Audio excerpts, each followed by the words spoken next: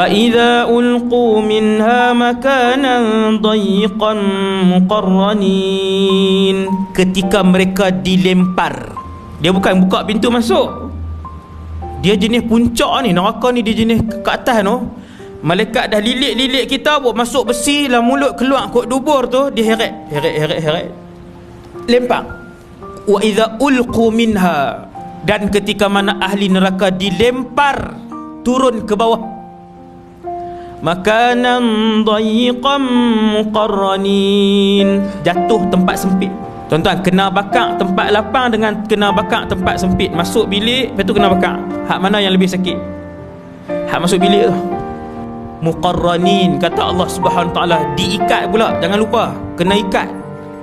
Bakar tu dalam keadaan kena ikat. Ni diikat tak boleh gerak. Tiga kali azab